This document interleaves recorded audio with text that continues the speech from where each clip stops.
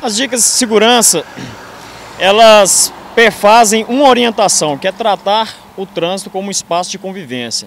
Tratando o trânsito como um espaço de convivência em que todos possam utilizar desse direito de ir e vir, certamente evitaremos realizar ultrapassagem de faixa contínua, é, utilizar bebida alcoólica e é, fazer a utilização também da direção do veículo e exceder velocidade.